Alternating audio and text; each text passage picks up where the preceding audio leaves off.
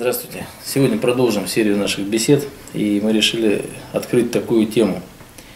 Э, Тема, в общем-то, хоть может кому-то показаться и неважной, но она, если задуматься, открывает э, много, э, многое пространство исторического поля, скажем так. Исторического, и в том числе политического и сегодняшнего дня. Эта тема, мы ее решили обозначить как э, э, возможность э, славянского братства. И вообще э, славянский союз э, в политическом, историческом поле. Его значение, влияние как на историю, так и на сегодняшний день. Э, Сегодня мы приглашали э, многих, э, многих представителей, значит, и э, русских националистов, и русских язычников. Ну, так получилось, что, скорее всего, нам придется вдвоем с Сергеем открыть эту серию передач. Э, Представляю еще раз председатель э, некоммерческого культурно-просветительного фонда Союза украинцев России, Сибири, точнее, Иващенко Сергей Алексеевич. И я координатор сборского клуба Евгений Петренев. Для начала я хочу э, тогда, раз мы вдвоем эту тему открываем, обозначить позиции. Э, Тем более, э, я думаю, у нас позиции будут э, такие дискуссионные, я так думаю. Надеюсь. Да. И хочу обозначить и свою позицию, чтобы Сергей тоже сказал несколько слов, освещающих в общем эту тему. Прошу, Сергей. Ну, о, в прошлый раз у нас была вот передача, в принципе, неплохая была передача. И э, встреча вот с, э, с другими людьми, с язычниками в том числе и прочими историками военными, натолкнула меня на такую мысль. Мысль эта была как э, э, дружба славянских народов. Что это такое, в принципе? Возможно ли она, дружба эта? А если возможно, что нам мешает быть дружными? Почему за всю свою историю славяне убивают славян? Ужасно просто. Но ведь мы не такие уж и разные. И предки наши очень были так э, вместе и воевали. Но большую часть все-таки почему-то мы воевали друг с другом.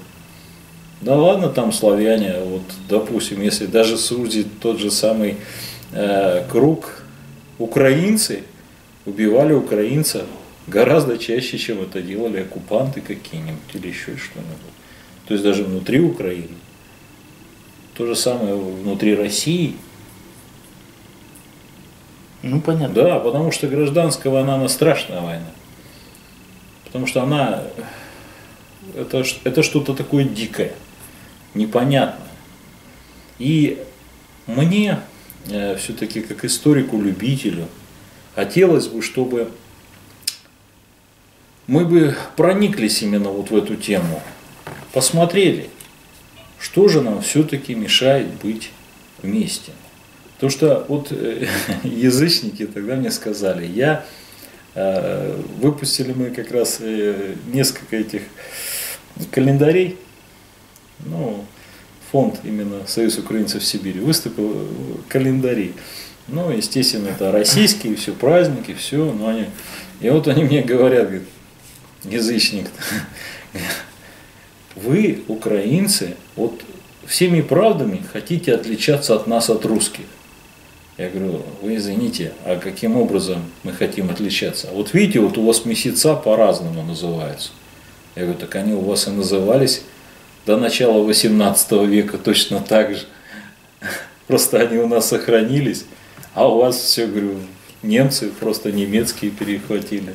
То есть, ну, то есть получилось, что немецкая культура очень сильно вошла в русскую культуру. Ну, я говорю, а что- с другой стороны, вот я не хочу даже обижать, там, допустим, вот русский народ. э, Просто люди тогда сидели и даже боялись слово, допустим, славянин сказать. Может, может быть, не будем говорить вот это слово славянин, а почему нет? Вот мы все, вот ты, Женя, я, люди эти, мы же все продукты истории. Вот когда изучаешь историю, через сколько невзгод, войн прошли наши предки, для того, чтобы мы просто сидели и могли элементарно сейчас общаться. И почему мы должны вот эту всю нашу историю перечеркнуть в угоду каким-то там политическим, ну, будем сказать, э, движениям. И все. А у нас, по сути сказать, движение такое. Я сказал, говорю, ребята, а что же есть все-таки у России русского? Флаг голландцы дали, торговый голландский, ну, герб греческий, византийский. Что же осталось-то? Ну, не слишком ли далеко мы ушли от, могил своих предков? Может быть, стоит посмотреть именно туда. Он, язычники говорили, вот боги отвернулись от нас, мы отвернулись от богов. Он смотрит, как вот есть вот там месяц у нас, Вересень. Он что, не знает, что такое Велес, что был такой бог языческий. И люди говорят о язычестве, и тут же смотрят, что мы оставили эту старую свою культуру. И говорят, что ну, вы, говорит, хотите отличаться. Да не хотим мы отличаться. Ну, просто мы сохраняем именно свою старую, ну, стараемся, вернее, сохранить. Что там говорить? Тоже тяжело это, правильно? И вот мне бы хотелось проникнуть в это. Почему? Так ли уж мы разные, как нам хотят наши политики рассказать? Насколько мы разные? И когда мы поймем это, может быть и э, какие-то вот эти вот тенденции, может, все-таки прекратятся. Ну давайте ближе к конкретике. Ну, да. Э, значит, э, я понял. Вступление такое, что разобраться, в чем близость славянских э, народов, проживающих вот на этой территории, которую мы называем Россия, и при ближайшие страны, которые были единым когда-то государством. Да, конечно. Вот это мы хотим сейчас понять. Ну и в том числе, я думаю, можно и посмотреть на тех славян, которые живут за пределами России. Конечно. Конечно. Значит, э, у меня э, к этому э, вопросу отношение такое. Вы правильно сказали, славяне всю жизнь в истории убивали друг друга. И вот сегодня для того, чтобы понять сегодняшний день и как-то его сопрячь с днями прошлыми, с историей, мы попробуем разобраться. Я думаю, у нас не одна будет передача на эту тему. Значит, у меня отношение такое. Да, славяне изначально Э, никогда э, не жили э, в едином целом. Они всегда между собой воевали и между собой, и с другими близлежащими народами. Это однозначно, это для древней истории это нормальное состояние. Это то же самое мы видели в Древней Греции, тоже там эти полисы, были, был разбиты на эти полисы, которые воевали друг с другом. Но в какой-то момент кто-то что-то с чем-то мог объединиться на какой-то идее. Э, как мы знаем, э, в истории такая идея была не идея, а э, был такой посыл, когда объединилась территория восточных славян, которые населяли север, и, и они объединились с югом. Мы с вами в прошлый раз об этом говорили. Это произошло во время похода Олега когда он э, значит, э, взял э, таким определенным обманным способом Киев, но после этого он объявил Киев матерью городов русских, и, в общем-то, история пошла центробежно с тяготением вот к этому киевскому центру. И она проходила на протяжении нескольких веков, пока не произошел разлом. И у меня еще такая мысль, что из тех времен, как славяне воевали друг с другом, это и княжеские междоусобицы, и между территориями определенными, э, так и до сегодняшнего дня, э, да, действительно, славяне никакого не имеют между собой согласия. Посмотрите, разве можно представить, что вот хотя несколько совершенно лет назад, еще, ну, может, несколько десятков лет назад, что поляк, поляки как бы с русскими сблизились, да, но сегодня это даже представить невозможно. Это страна, которая изливает, просто изливает потоки грязи, скажем так. Ну, это же, в общем-то, так сказать, братья-славяне, да? Ну да. Если уж так разобраться.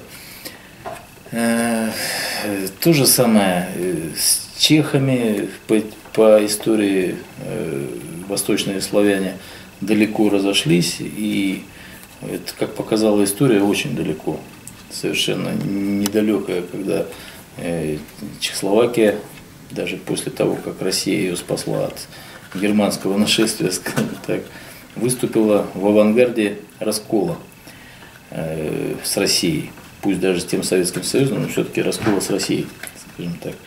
Я еще что хотел сказать, ведь эти идеи объединения славян, они витали в кругах русской интеллигенции э, довольно приличное время, ведь было движение славянофилов в России, и э, геополитически эти идеи э, высказал, геополитически именно, высказал историк славянофил известный автор трактата «Россия и Европа» Николай Яковлевич Данилевский. Значит, ну, то, что мало того, что он говорил о культурно-исторических типах, э, которые имеют другое там значение по истории, он э, в своем трактате обосновал необходимость вокруг России создать кольцо дружественных славянских народов. Вот. Я бы хотел обратить внимание, что если вот кто-то посмотрит вот эти вот идеи Данилевского, это вторая половина 19 века, и сравнит с тем, что Сталин после войны э, образовал, вот этот вот странный экономический э, социалистического блока, блока да, то практически Сталин вот как раз воплотил идеи Данилевского. Вот это интересно э, по геополитике. Но этот геополитический блок просуществовал недолго и распался. И тогда приходят на ум уже другие э, посылы, которые говорили другие русские мыслители, военные там, и так далее. Э, они говорили, что ребята со славянами бесполезно дружить. Они всегда подведут и подставят ногу. Это, ну, как мы сегодня не удивляемся, вот на наших глазах происходит вот этот вот э, заморочка, которая случилась с газопроводом с Болгарией. Ну, они сказали, ну нет, и все. Ну, начали капризничать, капризничать, договорились до того, что решили мы вести через, через Турцию. И вот представьте, Сергей, какая историчес, какой исторический кульбит. Э, когда-то Россия очень жестоко воевала с турками, да? Вот, 1700, вот, 1800, вот за эти земли, да, вот за эти земли, да. после которых болгары объявили себя Великой Болгарией там сначала, ну потом их маленько подрезали, они стали маленько, маленько просто Болгарией. Но, тем не менее, они России постоянно втыкали палки в колеса после этого. В двух мировых войнах они выступали против России. Получается, вот на сегодняшний день, если бы мы у турок эту землю не отбили, то мы спокойно бы этот газопровод построили. Да. Понимаете? То есть, ну, Договорились ну, бы с турками. Вот, вот такая вот получается, вот такой кульбит э, иронический, ирония истории, понимаете? Да. Да, да. Вот это наши братушки славяне. И когда вот э, герой той войны, э, болгар, Балканской войны, генерал Скобелев, Белый генерал. Белый генерал отвоевал, ну, благодаря, во многом благодаря его вот этому военному таланту была отвоевана вот эта земля для наших братушек, славян, болгар, э, он ведь не вернулся сразу в Россию, он там остался и помог болгарам создать свои военные силы. Он где-то с полгода, по-моему, может чуть больше, там проработал с ними как военный специалист и ну, пытался их э, воспитать из них какие-то военные силы для того, чтобы они могли за себя постоять. Ну, по его воспоминаниям он просто плюнул на это дело и ушел. Потому что ну, не, во, не воинственный это народ, не тот, который способен какие-то геополитические проблемы решать и так далее. Но вот э, пакости они строить могут. Значит, вот, пожалуйста, пример. Э, ну, поляки, чехи, болгары, я не знаю, но э, давайте не будем сегодня касаться того, что происходит на Украине. Это вопрос страшно сложный. И может быть, даже не совсем связан э, с, э, с таким предательством, потому что э, ведь нельзя не видеть, что часть народа думает так, часть так, и поэтому это очень большая трагедия просто. Абсолютно. И я ее просто, вы как хотите, я не хочу сейчас касаться. Ну да. Значит, э, вот вчерашнее заявление э, нашего любимого президента Лукашенко, белоруса. Уж казалось бы, у нас что э, славянские славянских президентов. Лидер, говорят, последний э, паладин славянского мира. Но он говорит, что, ребята, русские, а мы ведь мы с вами повоевать можем, понимаете? Было такое вчера заявление Лукашенко. Я просто обалдел, когда читал в интернете. Э, То есть он говорит, не надо нас там пугать. Я не знаю, кто его там чем пугал. Э, Лукашенко, э, несмотря на то, что он очень большие симпатии вызывал у всех людей вообще ну, России. действительно российского, русского, славянского мира, вот в этой последней, э, последних, в последние времена вот эти вот, он принял э, как раз направление такое, что как бы буду-ка я держаться э, определенного нейтрального положения и посмотрю, чья возьмет. Вот Ну да. примерно так он держится. И в связи с его вчерашними заявлениями о том, что Белоруссия типа готова и противостоять в военном отношении, конкретно он отправлял это посыл России, ну это вообще уже как-то ни в какие ворота не лезет. Ну вот я, я про что хочу сказать? Я в братский союз славянский не верю в глобальном смысле. Я верю э, в, в союз братских народов э, тех, которые в определенном образе э, видят э, свою идеологическую парадигму в какой-то в одной цивилизационной плоскости. Я не знаю, правильно я или, или понятно сказал, но расшифровываю. Допустим, сербы с русскими всегда жили э, в большой э, дружбе и взаимопомощи, в поддержке. Пусть даже когда-то Россия вляпалась в эту войну Первую мировую, из-за сербов очень плохо вляпалась, чисто с э, такой тоже геополитической точки зрения. Но вляпались, вляпались, то есть поддержали именно за сербов. Но и в то же время 41 год, вспомните, сербы вступили в неравную схватку с Гитлером, и вместо того, что он, Гитлер планировал напасть на Россию в мае, ему вот из-за этой схватки с сербами всего-то там 20 или там 30 дивизий участвовал, но, все- но все равно ему пришлось перенести на месяц. И те, кто знает историю Второй мировой войны и историю Великой Отечественной войны нашей, они понимают, насколько этот месяц сдвижки важен был Советскому Союзу для того, чтобы защититься от этих вот, от этого первого мощнейшего удара. Тогда был каждый день, по сути. дела. Это было все. И под Москвой там решали практически дни, дни. И то, что уже действительно немецкая армия вляпалась вот эти вот русские морозы, буквально вот, это, конечно, это было чудо, с одной стороны, а в то же время это большая заслуга э, действительно братского сербского народа, которые благодаря своему мужеству, своему героизму вот, э, оттянули на себя вот этот первый удар. Ну, э, что я хотел сказать? Э, Сербы и русские, они ортодоксальные православные люди, которые вот этот православный, вот эту вот православную цивилизацию, они несут на своих плечах уже, скажем так, э, не одно, второе тысячелетие пошло счет этому. Возможно, вот эта парадигма православная делает э, народы славянские именно братскими. Хотя тут же привожу пример, да, вот Белоруссия, ну почему-то Православный. православная страна. Абсолютно. Та же Молдавия, православная страна. Ну вот захотели они быть с румынами. Но ведь это же славяне, молдаване. Ну вот им надо с румынами быть, вот, потому что румыны там, они, видите ли, они от римлян себя держат, Ну, и мы хотим они- вот с ними. Они все-таки молдаване не совсем как бы славяне. Вот, каждый будет говорить Ну да. совсем, не совсем, Ну да. покопайся в нас каждом, Да, да, и не славянина найдешь. Ну да, ну да. Я вот к этому говорю. Вот на чем строить вот такое братское отношение э, славянских народов? Как вы думаете? А я вот и говорил, Евгений, о том, что мы очень далеко ушли от могил предков. Повторяюсь опять, к сожалению. Ну, вы Почему? сказать, да, потому что, истории, да, что потому что нашу историю очень сильно перепахали. Потому что нашу историю очень сильно уничтожили. Очень много, потому что рассказывали, как э, при Петре немцы ездили и возили вазами с наших монастырей. Ну, Вот эти старые древние летописи. рукописи, летописи. Рукописи, да. И мы не знаем ничего.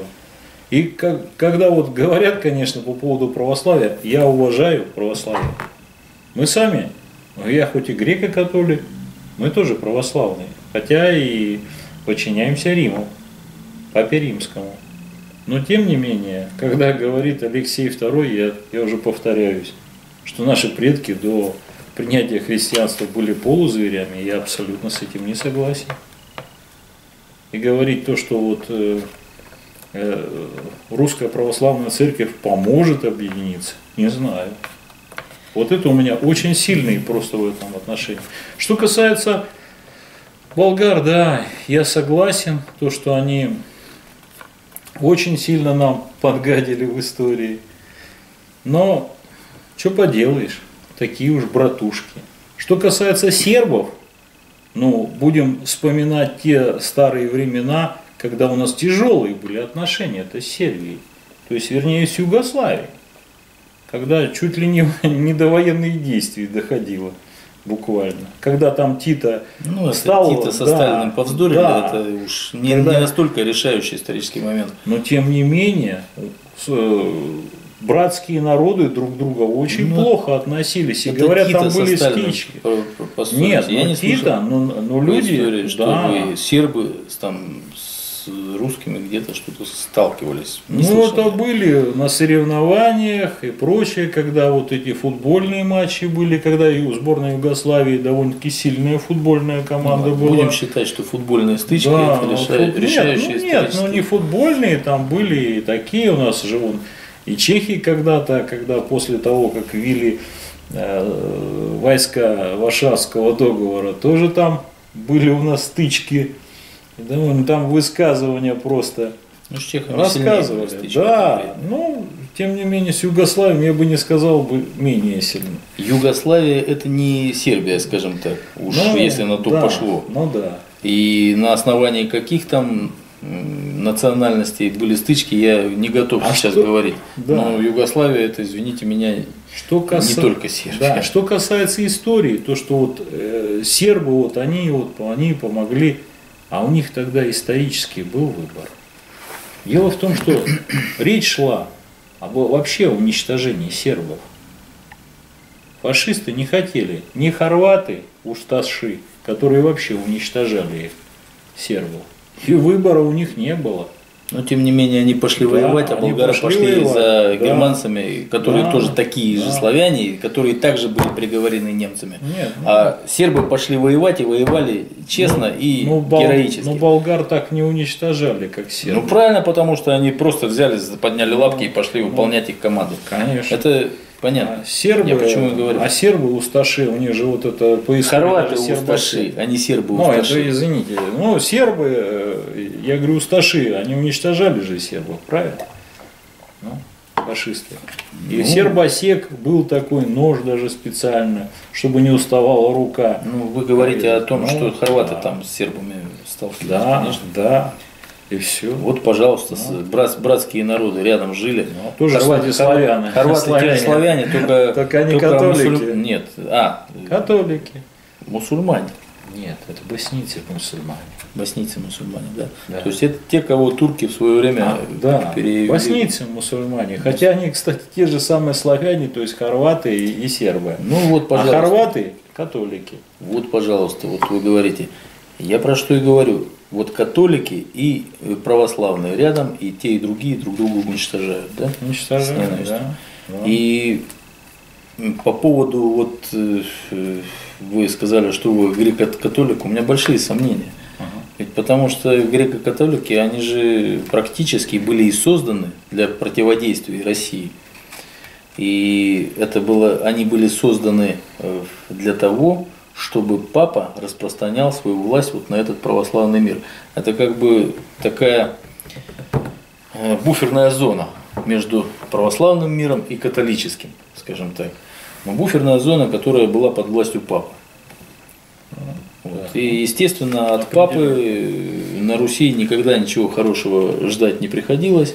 И много пакостей католики э, и рыцари там с древних времен, и далее нашествия различные поляков и так далее. Все это происходило по, под эгидой э, католических э, ну, нунциев. Ну да, да, да. Было такое. Значит, да. да. Поэтому, ну, говорить о том, Нет. что ну, с греко-католиками будет какое-то э, э, сближение, ну, я уж вроде ушел от сегодняшних событий на Украине, но вот сегодняшний день показывает какое-то, может быть, сближение. Ну, вообще-то мы вот, э, у нас самая главная молитва у всех, будем говорить, у христиан, ну, православных, то, что мы молимся за объединение всех церквей в одну, правильно? Ну, но каждый говорит, но наша церковь лучше вашей. Ну, как ну, бы, вот ну, что значит есть такой симбиоз, церквей, есть такой симбиоз. Я не знаю, кто за такое Где католическая, но нет, почему, где? Вот, Целый. пожалуйста, в храм, движение, в любой православный движение, храм, нет. Евгений, зайдите в любой православный храм, и там будет, обязательно скажет, за объединение всех церквей в одну. Ну, это какие-то экуменические нотки. Эти экуменические нотки в свое время пошли в начале 90-х годов, и они пошли в этот самый в церковный клир, и есть э, священники, которые за объединение, вот это вот экуменическое, а есть те, которые категорически против. Так вот я за тех, которые категорически против вот этого экуменического движения. Потому что экуменическое движение было признано э, вредоносным для православного мира еще на соборе Э, который организовал э, Иосиф Виссарионович в 1948 ну, да, году. Да, да, было да, было такое. И после этого были различные попытки возродить этот экуменизм. Ну, а так как есть определенная эсхатологическая теория, что конец мира будет связан с объединением церквей, то многие православные люди это объединение церквей не приветствуют. Я говорю, что я к таким людям и отношусь. Ну, Значит, э, кто там молится за объединение церкви, я не знаю, надо просто пойти с этими священниками, разобраться и поговорить с ними. Ну что вы, ребята, экуменисты, ну так тогда так и скажите, честно. Так у нас везде, во всех храмах. Вон даже, где Я понимаю. а и во всех ну, храмах, каждый день. Вы знаете, молитва... что глав, главным экуменистом в свое время был митрополит Кирилл Смоленский, э, сегодняшний патриарх. Он был главным экуменистом России. Вот. И не мудрено, что сегодня во всех храмах молятся за объединение церквей, поэтому готовится Волчий собор, так называемый, э, в 2016 году. Э, он будет проходить под эгидой значит, объединения всех православных церквей под э, этого константинопольского патриарха Стамбульского, значит, известного масона Варфоломея. Ну вы понимаете, что... Которого очень мало прихода, приход очень небольшой, но имеет огромную власть. Пытается сегодня вот сказать, что я самый главный. Да. Но это же, ну, если бы этот был, вот, понимаете, какой-то вот действительно молитвенник, который там прославился там каким-то э, священным действием, который ведет на усиление православия, но он постоянно исполнял заказы то там папы, то там каких-то э, служб ЦРУ, то откровенно в масонских организациях участвовал. Ну какой он объединитель, какой он вселенский патриарх. И вот под эгидой этого готовится Всемирный собор, который, который планирует э, быть Вселенским собором. Вы понимаете, что это такое по да, вот да. этой вот теории, опять же, вот нашей? Все вселенские соборы, семь вселенских соборов прошли в, те, в первом тысячелетии нашей эры. И они установили определенные каноны. И эти каноны считаются нерушимыми. И наша церковь православная, и сербская православная церковь стоит на нерушимости этих канонов. И вдруг придется какой-то собор под эгидой папы Варфол... Фу, папы. Ну, да. патриарха Варфоломея скажет, а вот мы какие-то каноны тут изменим. Вот это и будет раскол церкви, однозначно будет. Ну, ну. Если наша церковь поведется на эти вещи, ну, очень даже не исключено, потому что я говорю, что э, патриарх сегодняшний Кирилл, хоть и говорит определенные вещи, э, я потом прокомментирую, кстати, то, что вы сказали, говорит определенные вещи, связанные с симпатией к русскому, к русской цивилизации, к русским людям, но мне кажется, это просто прикрытие того, что готовится для русской церкви. А для нее готовится, мне кажется, большой удар. Значит, по поводу вот его выступления, по поводу того, что славяне там это звери, пока не пришли Кирилл, Полузвери. полузвери которые пришли, э, Кирилл и Мефодий там и так далее. Ну, интересно, что предъявлять претензии Кириллу, конечно, можно, что он подхватил, но первые претензии надо предъявить э, летописцу Нестору. Он практически прокомментировал его слова. Потому что вот практически э, дословно то же самое в повести временных лет прозвучало. Понимаете? Ну, это можно объяснить то, что э, вот эти вот средневековые монахи, когда получили вот эту силу православия, и они были при государственной власти, они как-то старались вот эту государственную власть усилить, защитить и так далее. И им надо было обосновать, что вот православие пришло, и вот вы сейчас радуетесь. Ведь Нестор писал свою повесть временных лет в конце XI века, в начале XII. И кто был Нестор? Он был монахом Киево-Печерской лавры. Не, по национальности. По национальности не знаю, если вы можете сказать, Да. ради бога, Да. кто он там был. Ну, по крайней мере, это от него. И еще в XIII веке была еще одна э, летопись, которая вошла э, в исторические э, сведения, и на нем многие историки основывают. Э, Это новгородская первоначальная А, летопись. ну, Значит, в ней тоже что-то такое прозвучало. Поэтому Кирилл про, просто прокомментировал то, что он прочитал из этих источников. э, Бац, и это вот было воспри- правильно воспринято, что это не так. Я тоже с этим не согласен. Но о чем говорить, если славяне уже такое количество городов, письменность, ну какие это полузвери, извините меня, это целая цивилизация своеобразная, целая культура была создана, э, пусть там э, вне, хоть и вне христианства, но в то же время и вместе с христианством. Ведь на территорию э, проживания славян христианство пришло не с принятием крещения на Руси, а гораздо раньше. То есть христиане сосуществовали вот с этими вот язычниками славянами, которые поклонялись там каким-то добрым, нормальным, светлым богам. Вот эти вот славяне, они быстро пере- перешли на христианство. Почему? Потому что по своей парадигме оно практически не отличалось. Там есть силы зла, силы добра, и здесь есть силы зла и добра. Ну, раз государственная власть сказала, перешли на православие. Все, на хри... ну, приняли так христианство. просто, конечно, пересли. Многие перешли очень просто, многие сопротивлялись, скажем так. Ну, сопротивлялись, скажем так, э, довольно недолго. И я считаю, вот эти вот сказки о том, что там огнем и мечом там подчинили, ну, это просто Не, сказ- бывало это и сказки. огнем мечом, к сожалению. Э, С северными э, племенами, да, пришлось поработать. Да, Ну, э, это да. А киевляне довольно мирно приняли право- православие. Потому что для них было устранение язычества, это ус- устранение власти варя- варяжск- варяжских дружин, которые, в общем-то, своей жестокостью э, шокировали многих людей в то время э, человеческими жертвоприношениями Перуну и так далее. Потому что это все киевлянам надоело, скажем так. Поэтому э, и Ольга приняла, мать Владимира, христианство, и потом уже официально было принято христианство, православие.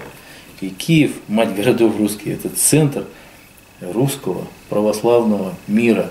И вот, э, к сожалению, кое-кто об этом забыл и от этого отказался. Ну ладно. Ага. Значит, э, я знаю, вы любите древнюю историю. Может быть, вы приведете там оттуда какие-то примеры для того, чтобы э, аргументировать братство славян. Ну, братство славян у нас, в принципе, ну, очень мало мы, допустим, э, знаем и до сих пор изучаем тех же самых палапских славян, которые, по сути сказать, являются нашими э, в некотором роде все-таки пращурами. Но вы считаете, что поляне пошли от половских славян? Да, Насколько конечно, помню, да, да. Потому что э, те же самые сказки, которые нам принес Пушкин, наш великий Пушкин, который Ну. рассказывал про остров Буян, все это на самом деле было. Ему Просто все это передавалось. Можно коснуться. Да, да. Вы не задумывались, почему кор- корабли мимо острова Буяна шли, а? А К царству славного Слав Салтана. Салтана. Почему они мимо проходили? Да это был проклятый остров. Нет, ну все-таки изоб нет, везде палаты. Все-таки доказали, что там очень богато жили люди. Не такой он же был и проклятый. Кто? Буян. Буян? Да. Это остров Березань в устье Днепра. Ну, это, а, нет, это, нет, я про тот, э, я имею в виду остров Буян, который э, Рюгген. Нет, ну это Балтийский. Да, э, это Балтийские территории. Стоп.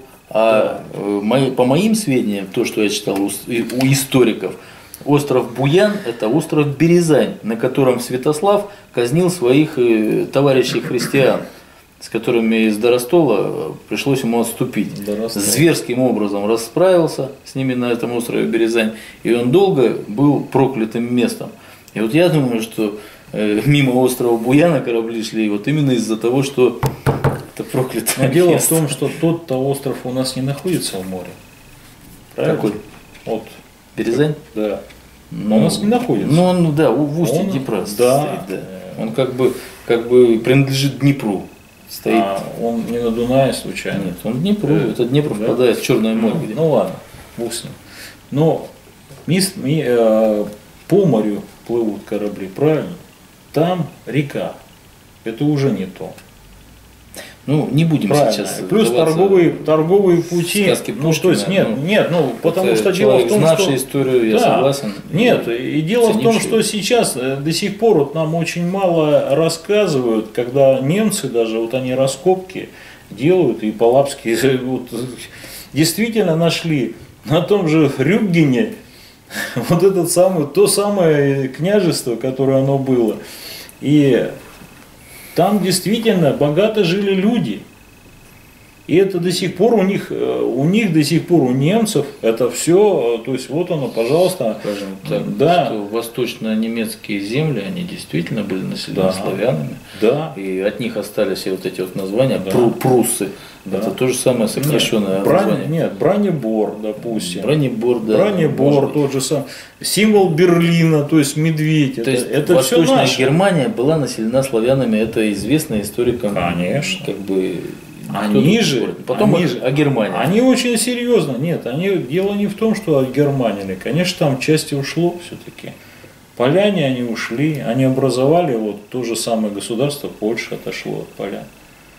Они Согласен. образовали, они, правда, пришли, да, был, было уже поселение. Киев уже был. Пол- было поляне, поселение. поляне, ведь это ж не так просто, что вот Да. Польша все время там претендует на Киев, Да, да, а да, Киев да. на Польшу, Да, да, потому да, что да, они да. ведут единый корень от полян. Да, от полян, да, потому что остались е- единоплеменные славяне-ляхи, которые э, остались там. А поляне дальше пошли. Поляне дальше пошли. И, между прочим, пошли-то они с кем? Пошли они, кстати, с хуннами, гунны, то бишь венгры. Ну, я не буду в эти... Ну, э, Нет, хунны и венгры это, наверное, разные вещи. Это Венгры не- и угры. Угры. Нет. Ну, угры, мы, Угры. мы их называли уграми. Вообще они на- назывались хуннами. То есть теперь у нас Венгрия как называется? Она пишется Хунгария, Се- то есть да, страна гуннов может быть. Значит, или земля гуннов. Ну, как бы, это те же самые угры, которые вышли у нас с территории где-то Сибири, скажем так. Да, да, Да. абсолютно, да. Я тогда и говорил, они когда Ро- тогда ро- родственные. на вот определенной передаче тут некоторые говорили, что они Ну. действительно здесь жили. Я говорю, вы, говорю, венгры, что ли? Да. Авары? Кстати, башкиры много взяли от угров. Да. То есть практически башкиры родственные венграм. Ну, Да. сейчас с древних времен. Нет, по да, древним да, почему? Да, есть Да, определенные. то есть угорские племена, они Сибирь населяли. И Да. тут столкнулись у нас в Сибири, значит, угры, монголы и тюрки. Да. по, вот, по древним временам. Вот это вот э, как раз составляло вот эту вот часть автохтонного населения, куда потом пришли русские. Да. Это, это понятно. Но не будем отвлекаться. Не будем отвлекаться. Да, я, главное, какая идея?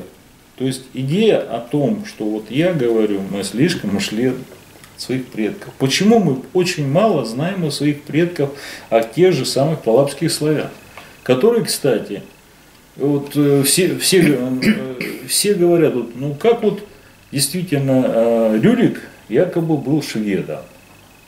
Но как шведом он был, когда, Почему все ну как говорят? он, не, много ну, всяких не, ну много говорят, теорий да, происхождения да, да, Рюрика и- Да, вот он, ну потом э, действительно историки говорят, а вы знаете, что он все-таки был славянин? Да, естественно, я это давно, кстати, еще мальчишкой знал. Почему? Потому Ну, что вот как так, вот, вот представьте себе, при- при- пригласить человека, правь нами, а вдруг он, извините, людоед.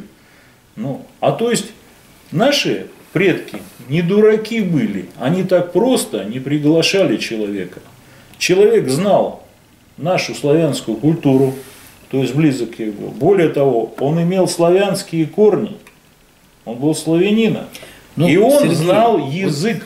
Я то есть понимаю. боги и Вы- культура ему настолько была близка. Вы хотя бы говорите, что есть такие версии исторические. Ведь нету Есть. доказанности этого. В том-то и дело, что нету доказанности. Да. А почему нету доказанности? Ну, есть Потому что в версии. свое время очень сильно хорошо покопались немцы в нашей истории. Ну, При Петре Первом. вполне Да. раз- разумная версия, Я- значит, да. то, что историю изничтожали, летописи сжигали. Я же не говорю, что Очень там вот это вот пропало. свастики и прочее. Я в это не влажу. Очень много про- будем, будем надеяться, что раскопают библиотеку Ивана Грозного, мы все поймем. Либерию великую, да, я тоже бы, конечно, хотел бы этого, но боюсь, что боюсь, что великая та самая Либерия, которую мы все ждем, эту, Я все-таки хочу говорить э, на основе того, что вот происходит в научных кругах, Сергей. научных. Вот есть э, такие вещи, что да, повесть временных лет, она была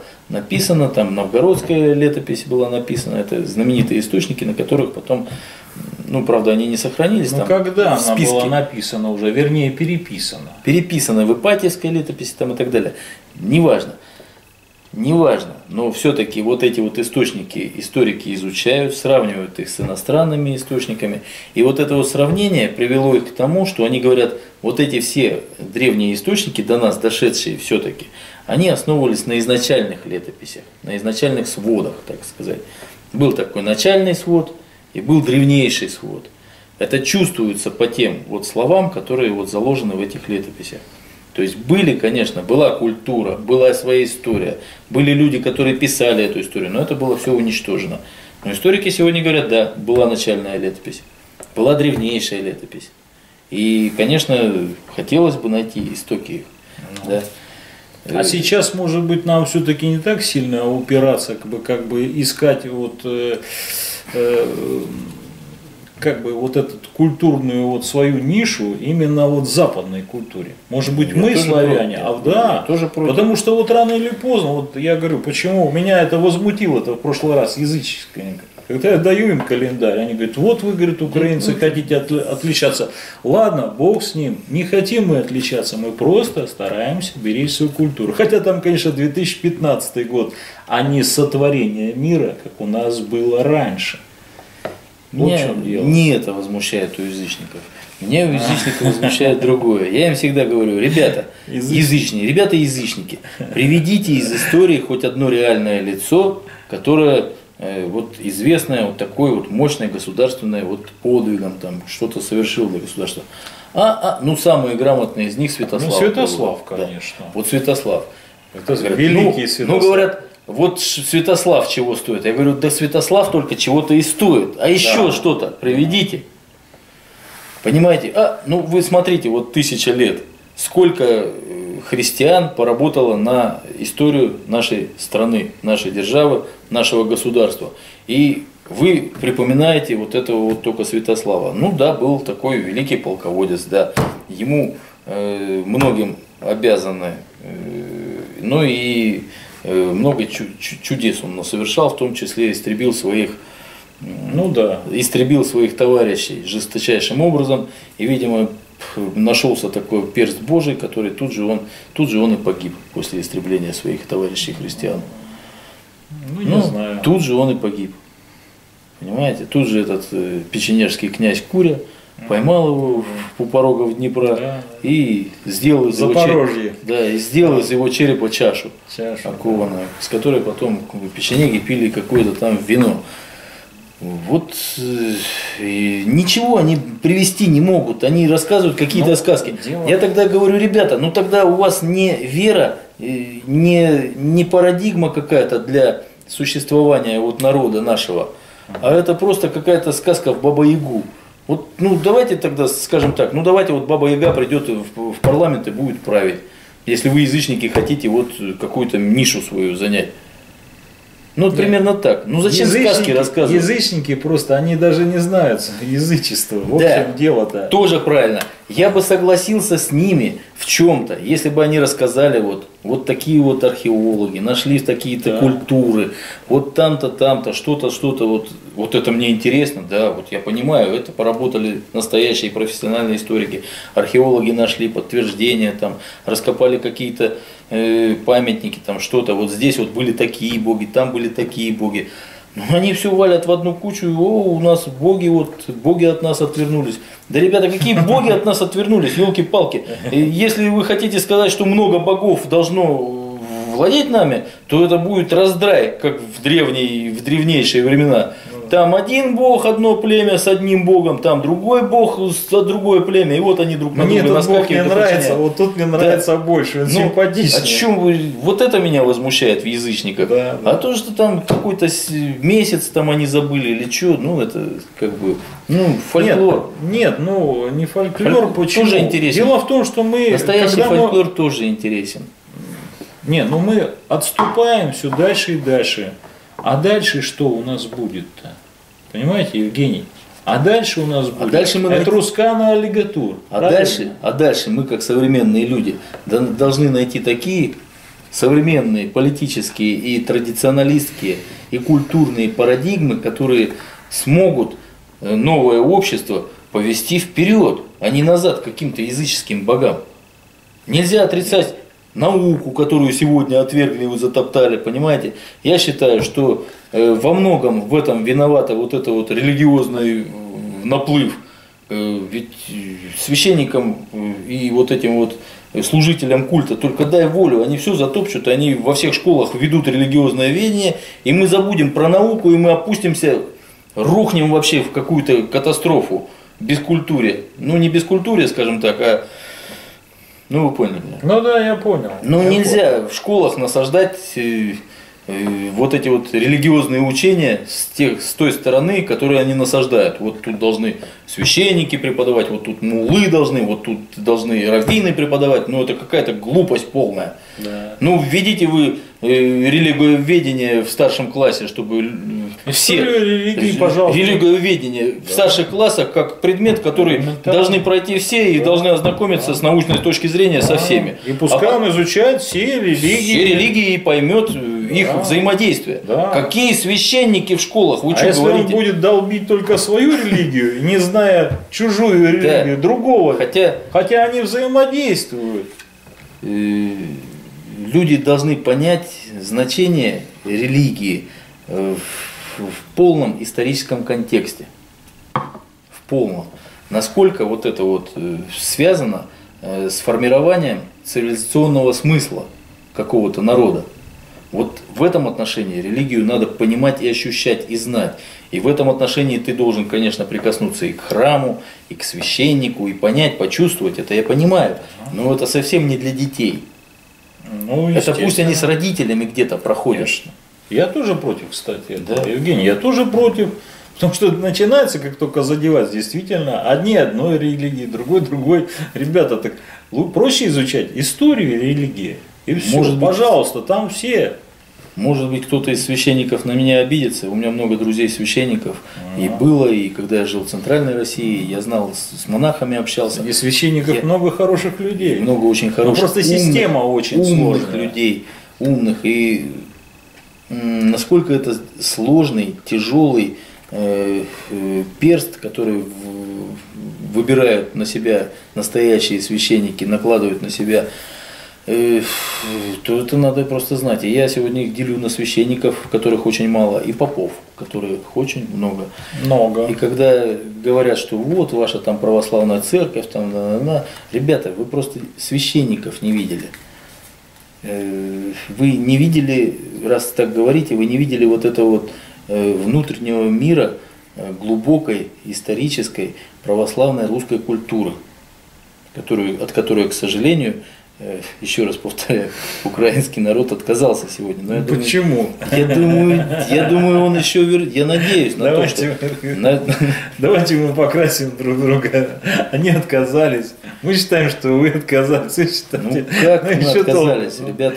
Я- Если Киево-Печерская лавра – это центр возникновения э, ру- русских монастырей, ведь там созданы, созданы, оттуда пошли все монастырские уставы. Ну. Там находятся могилы. Я не знаю, кто там по национальности или по народности был э, Нестор. Вообще Нестор это э, еще никто не доказал, что он существовал. Может быть, это целый, э, значит, отряд таких летописцев, которых Да. потом объединили. Команда. Команда, да. Э, Которых просто в объединили, Ну, а назвали почему? Это- вместо Спартака Нестором. Повесть Ну временных да, лет это такое. глобальное исследование, Да-да. составленное для той государственной власти, которая в то время была. Там, тогда правил князь С Святополк. учетом, так сказать, угодить той власти. С, учё- с учетом объяснить кое-какие вещи. А, ну, ну, А все равно, угодить- если бы не так бы угодили. Противо- противостоять власти, конечно, никто ни в какие времена Вот э, именно. как бы не лез в эти времена. Поезд временных лет очень серьезное исследование. На нем историки серьезные строят, и они сравнивают э, их с зарубежными источниками, с арабскими, византийскими, с германскими. Значит, очень много там э, понятного, доступного и логического дошло до наших времен, именно из повести временных лет. Поэтому я бы не, не хотел вот так вот, чтобы ну, Ну, слишком там мало все-таки о нас, славянах. Считаю, Может так. быть. Я про что Потому хочу что- сказать. Я не да. знаю, кто там был Нестор, но основатель э, Киева-Печерской л- лавры э, был из Любича. Любич это город Черниговской, э, значит, принадлежавший Черниговскому, значит, в то время э, землям. То есть это как бы понятно, да, Ага. что я говорю? Да, да, да, да. Антоний, по-моему, да, основатель. Ага. Вот Он был из Любича. Поэтому не Теперь надо это говорить, Брянская область. Брянск? Ага. Но тем не менее, в то время оно принадлежало как бы э, киевским землям. Ну да. Да, тогда очень многое принадлежало киевским землям. А вот э, единственное, что вот, э, видите, я просто хотел предостеречь вас, вот Евгений, потому что вы вот сказали, ну там вот Олег, там нет, не Олег, Святослав.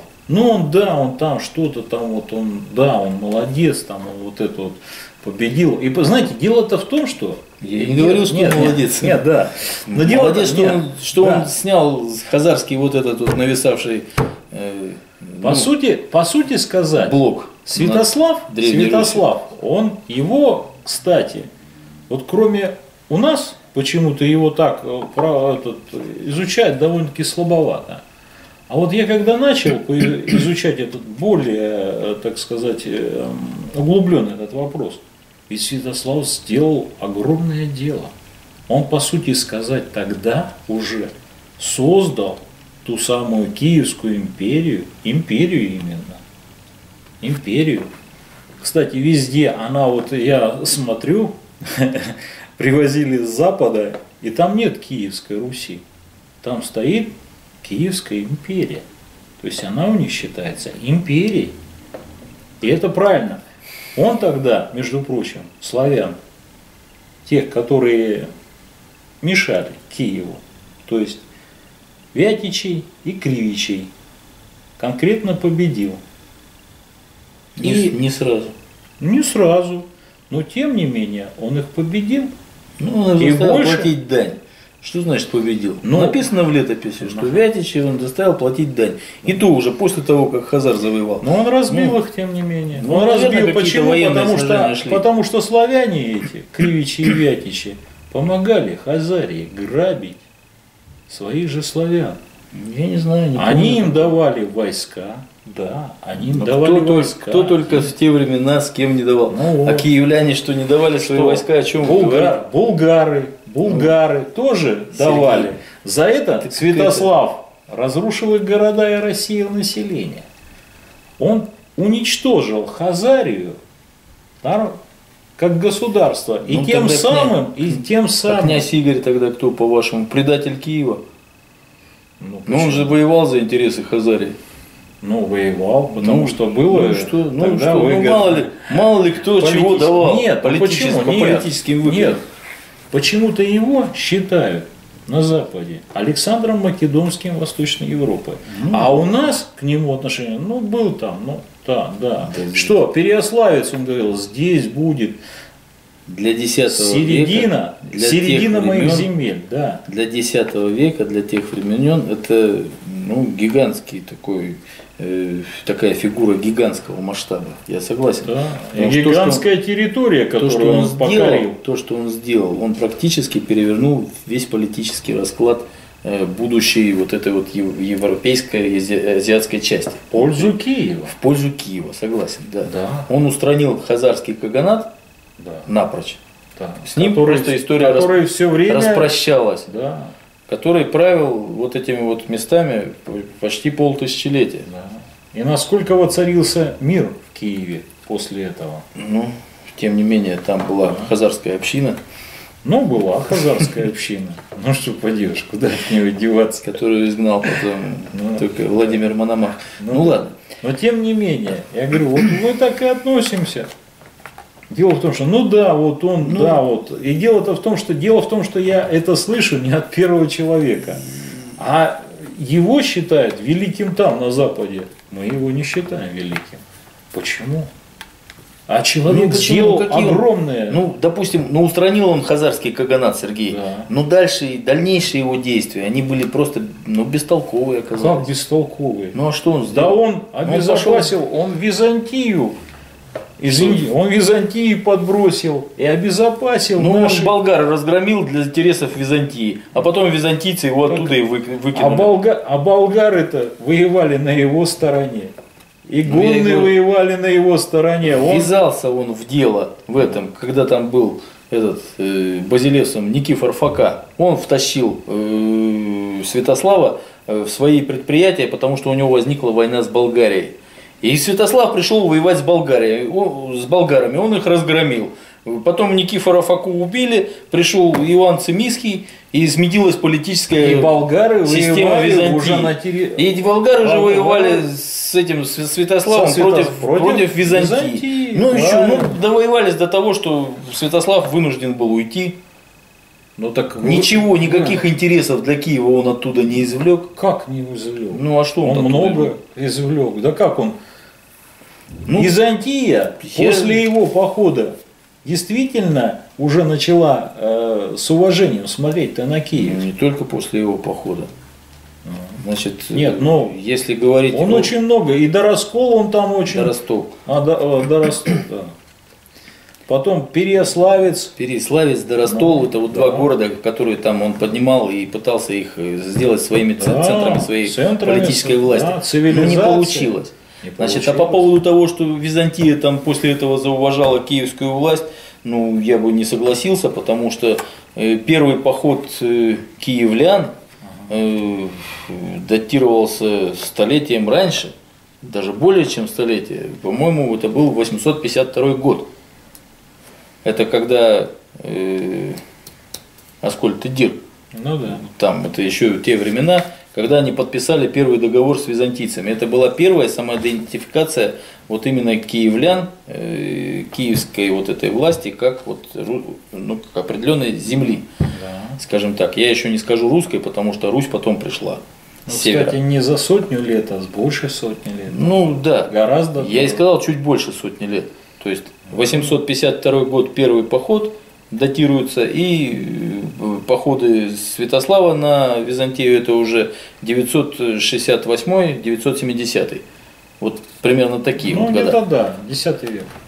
Ну, 968-970. Вот, 10 вот, век. вот примерно я могу ошибиться, плюс-минус там 1-2 года. Э, Ну. с- ну, Аскольд Дир, Аскольд Дир. А нас потом, такая- через 30 лет, периодически вот эти договора возобновлялись. Вы знаете, что Византия заключала свои договора на 30 лет. И почему русы потом приходили, уже русы, потом же они так и указывались э, в древних летописях, пришла вся Русь, византийцы пишут. Значит, э, через 30 лет пришел, значит, уже Олег или Рюрик, ну Олег, наверное, уже. Потому что 880... Рюрик Да. не шел. Скорее всего, Олег, да. Ну да, точно. Потому А, что в Рю- 880 Рюрик туда, он не дотянул до 808 тех да, времен. в 882 году Олег взял Киев, значит, через 30 лет он перезаключил с Византией мирный договор. И еще потом через 30 лет, э, в 911 году опять поход Олега на Византию, где там Пушкин пишет, что-то он там прибил к каким-то вратам. Но, Да, кстати, да, да. ну, кстати, византийцы... Вещи поч- Олег. Да. Византийцы почему-то этот поход не заметили и никакого прибитого щита.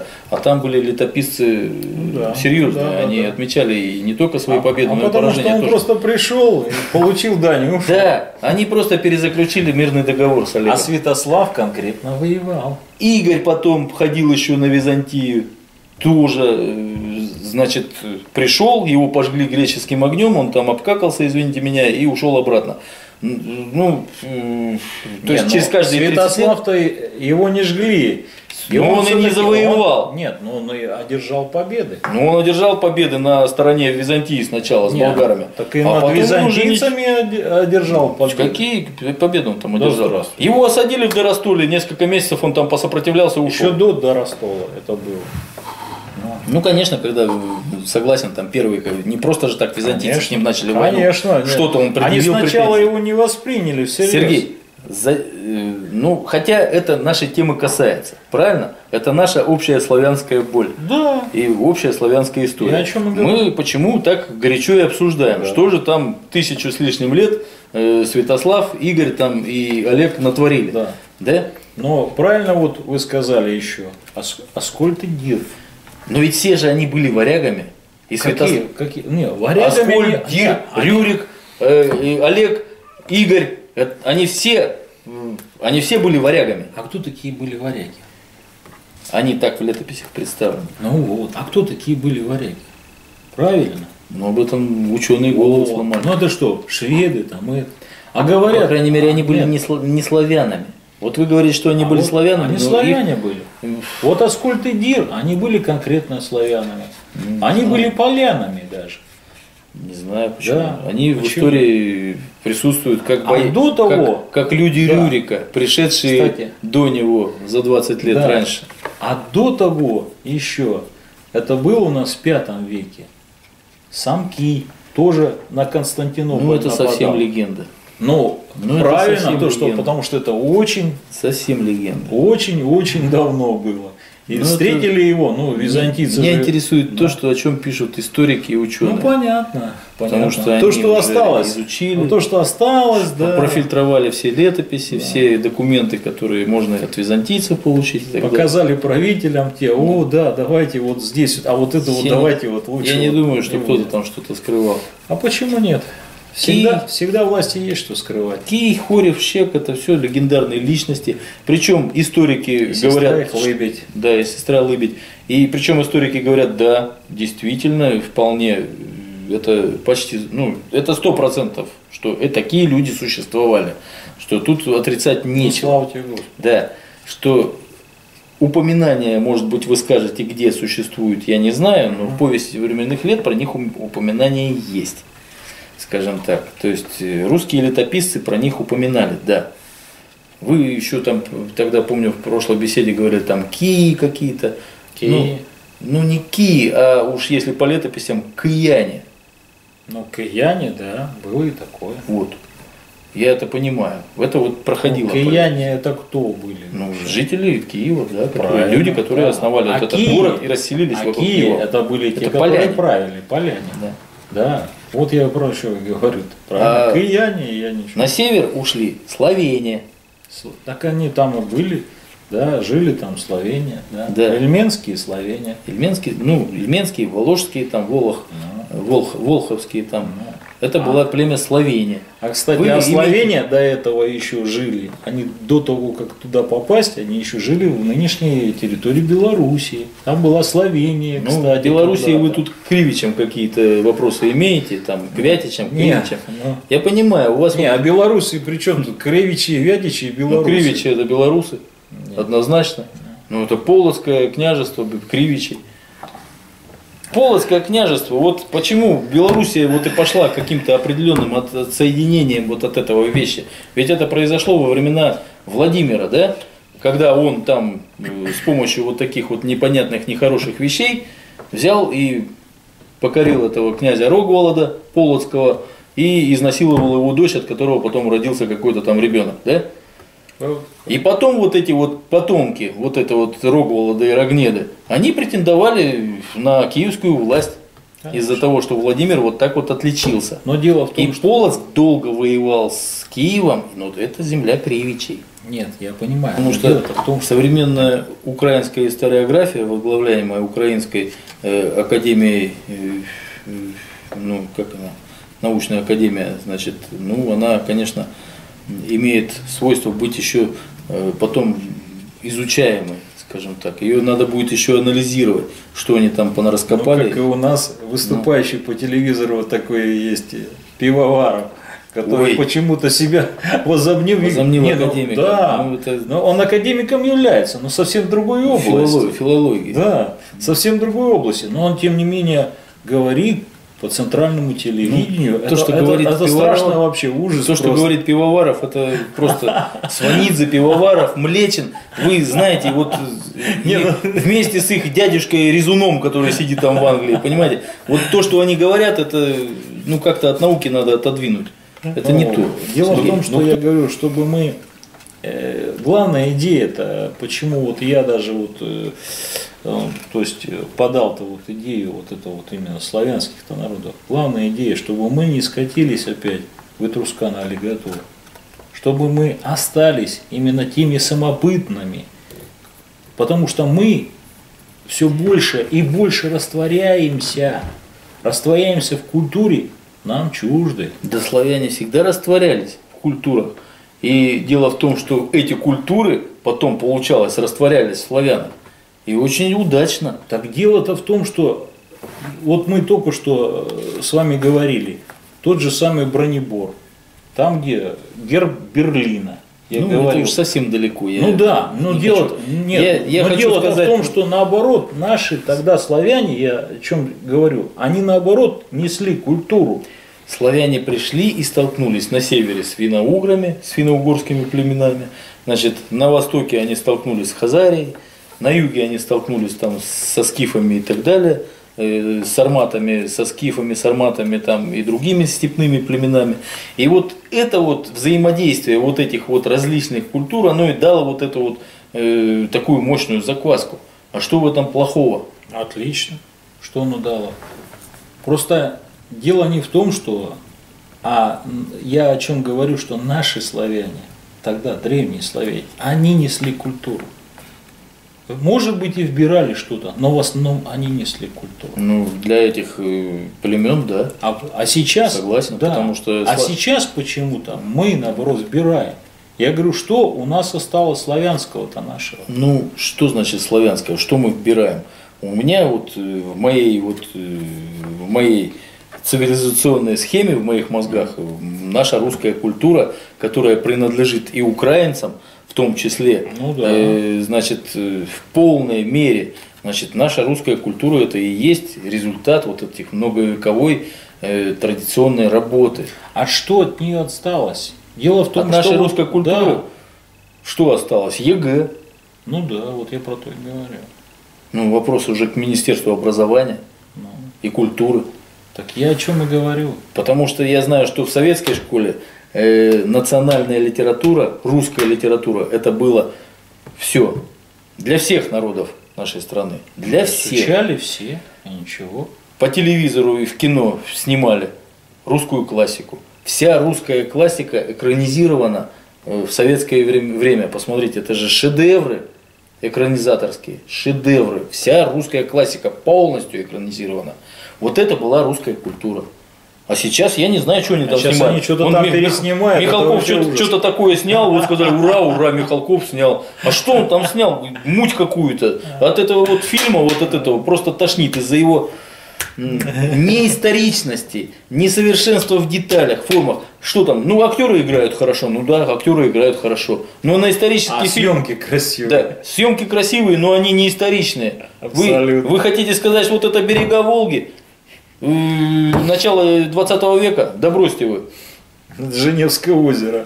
Они там не, ну это снимали. какая-то другая река, только не Волга, по которой бродили в атаке бурлаков, понимаете? Там баржи должны ходить, там должны быть песчаные пляжи, по которым бурлаки иду- идут, там в конце концов пароходы должны бороздить эту э, Так, Волгу. а Там течение должно быть, тогда еще не было гидроэлектростанций. А что он нам показывает?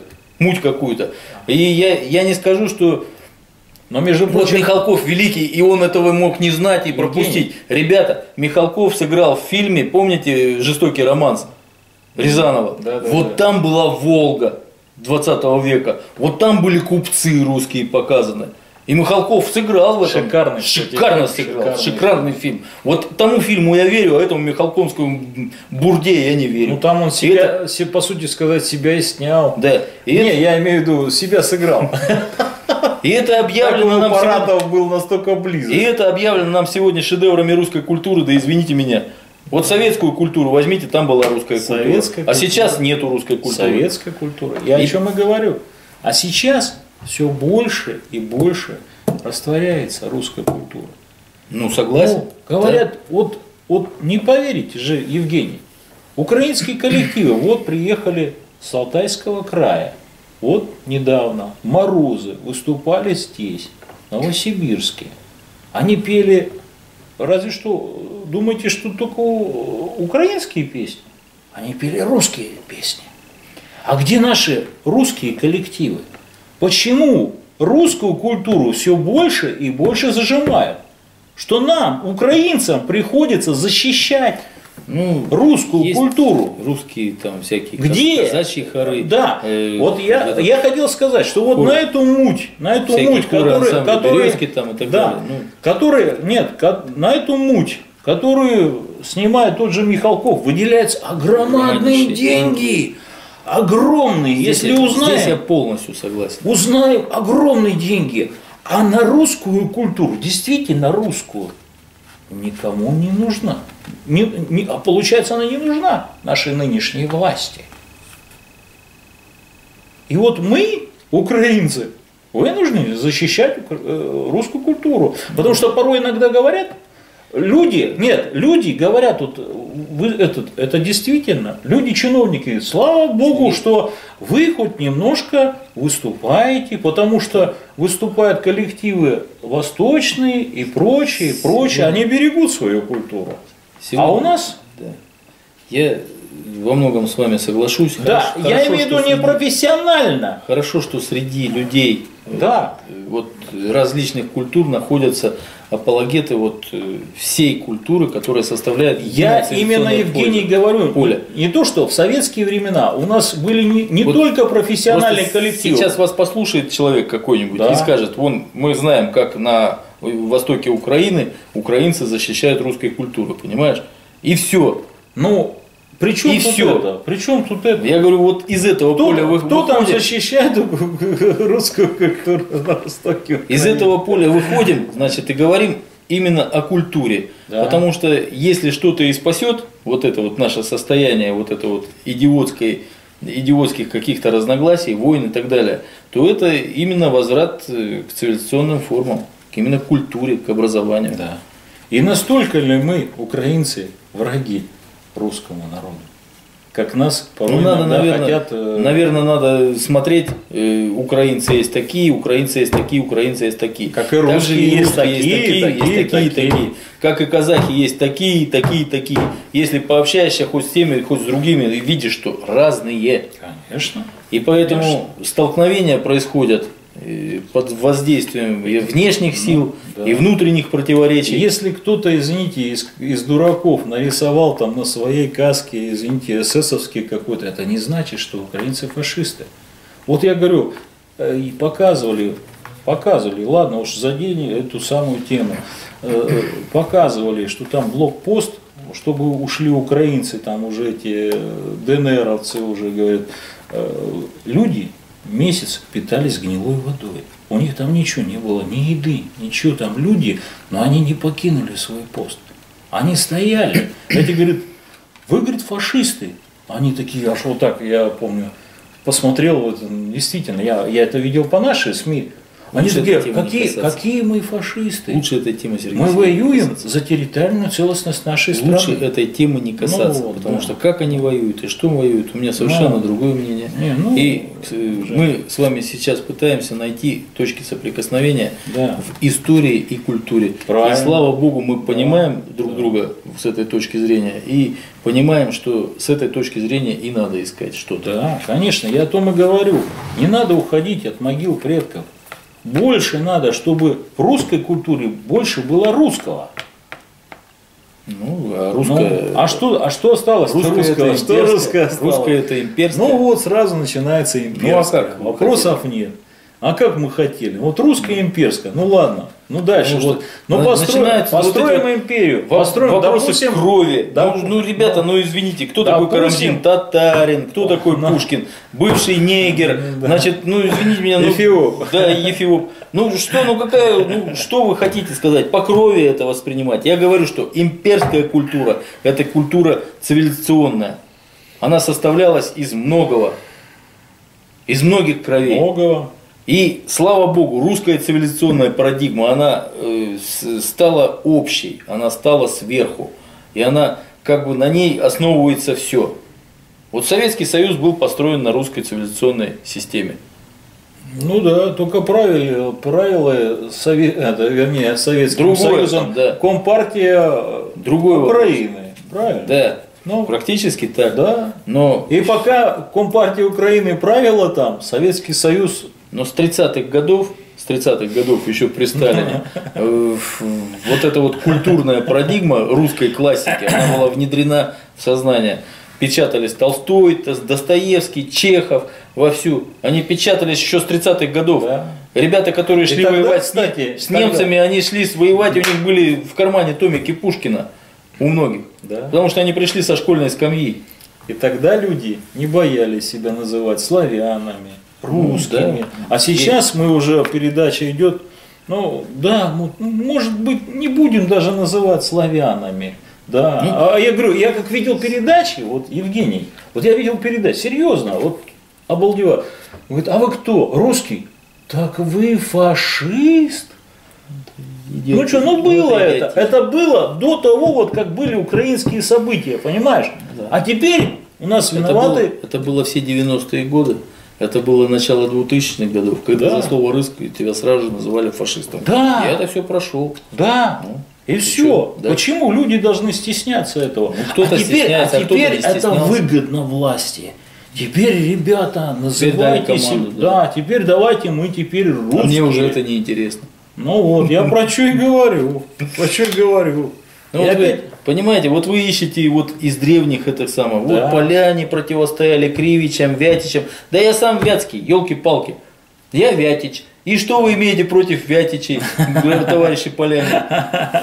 У меня из трех, из трех моих дедов, бабушек и дедушек, значит, трое святки пришли в Сибирь. Ну, ну что поделаешь, Хазарам поделаешь? помогали вы, Хазарам. Ну, да кто только не помогал. Я говорю, и Игорь помогал Хазарам. Шел и потопил свою дружину в Каспийском море. чё Господи, поделаешь?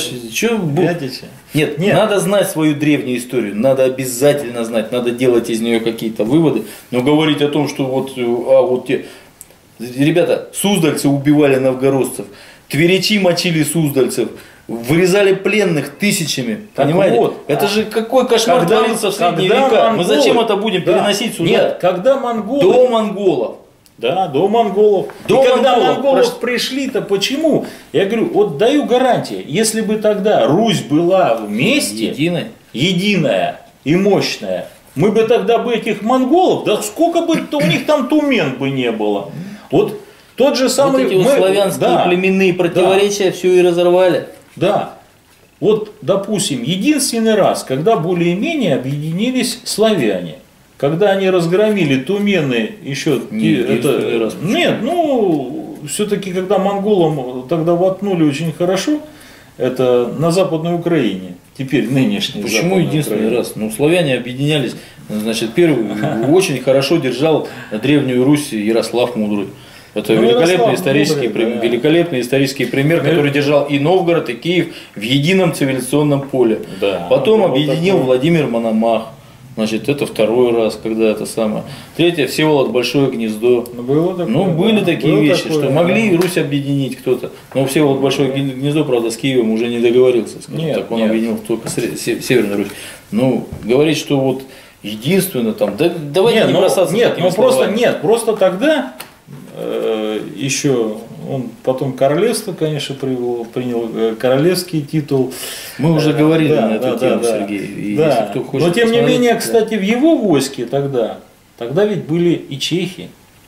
Тот же самый Ян Жишка воевал, для, между прочим. для тех времен. Да, это поляки, кстати, войски тогда Дани- тоже- Данила Галицкого. Данила Галицкого. Значит, э, ну, понятно, для тех времен это нормальное явление, потому что Да не славяне, славяне Нет, ощущали ну себя каким- каким-то Нет, единым полем. Ну каким образом он тогда? Он же тогда смог как-то и чехов тех самых подтянуть.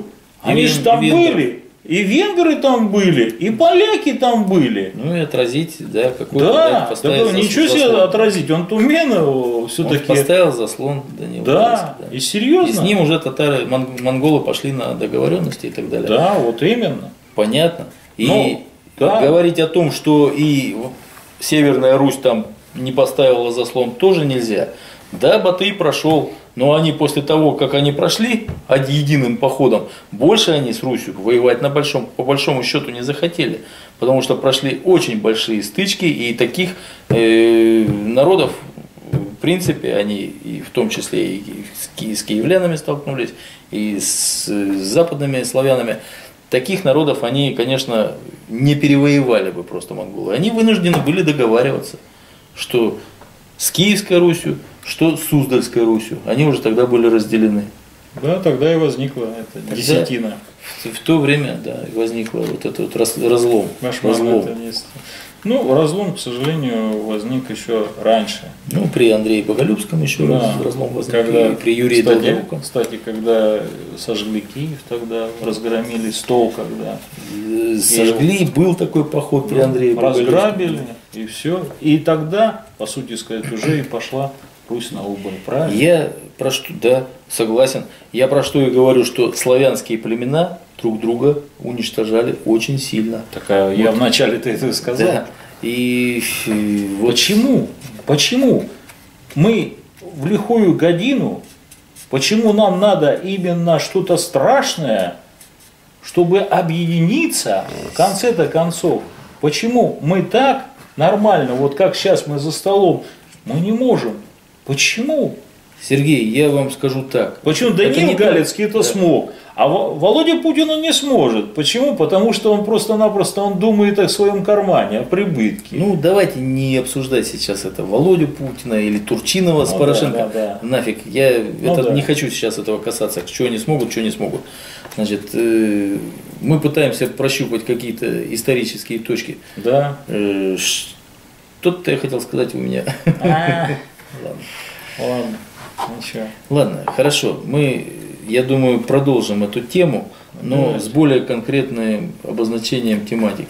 Ну, э, просто ряд э, передач надо ее сделать, чтобы вот эта тема, она прозвучала из других уст, из уст историков, Да, да, политологов, да. Да, мы то есть которые пригласим просто, просто-напросто надо всю это, вот эту информацию объединить.